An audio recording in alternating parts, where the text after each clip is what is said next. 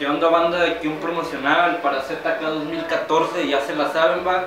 Acá chido el cotorreo, soy Tibu One, el productor, junto a Lil Pax.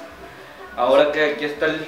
Yo soy MC Ronnie y diciéndoles aquí que se siente con madre grabar, todo, todo este pedo está chido.